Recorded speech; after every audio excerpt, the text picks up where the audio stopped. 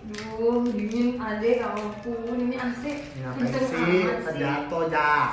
Duh, kakak adek kedinginan jadi adek olahraga gitu biar mendingan, dinginnya hilang. Lu nggak ngomong apa lu? Hah? Ngomong lu. Ah,